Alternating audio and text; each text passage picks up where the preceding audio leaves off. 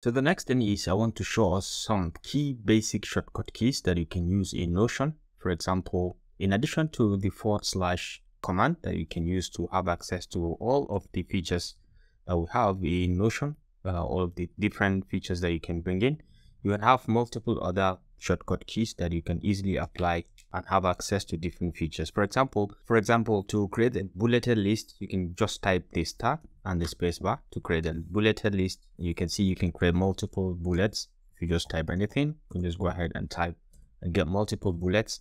Another way to create the same multiple uh, bulleted list is you can use the dash and the spacebar to create the list, or you can use the, the plus sign plus the spacebar create the same bulleted list. So these are quick ways to kind of get you to have shortcuts to be able to have access to the different features within Notion. Um, you can have access to other multiple keyboard shortcuts by coming down here to the bottom right. You can click on this question mark sign and you can come to keyboard shortcuts. You can just click over here and you'll be brought to this very place.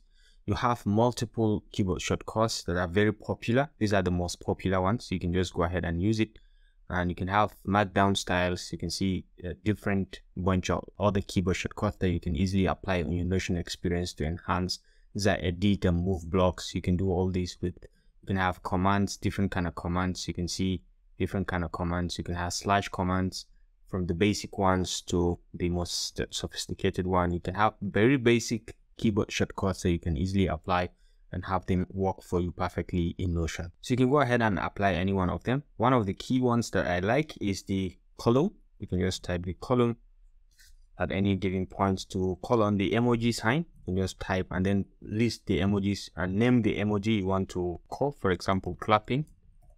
And you can see by just using the column sign and clapping, you call on this emoji and you can see you've just added the clapping sign. So you can move on and and put another one. Another one that you can use is the, you can call on the emoji Apple, for example, use the column and then you can type Apple and you can see Apple just coming up. So you can just select it and you have your Apple. So there are various different kind of signs and different kind of emojis that you can use or different kind of shortcuts that you can bring in to enhance your experience with Notion. I think that does it for this tutorial on how to use uh, shortcut keys. Feel free to go ahead and check out the multiple ones that we have and choose the one that you feel like you can easily use to enhance your productivity in the use of Notion. So that does it for this tutorial. Thanks for watching and I will see you in the next one.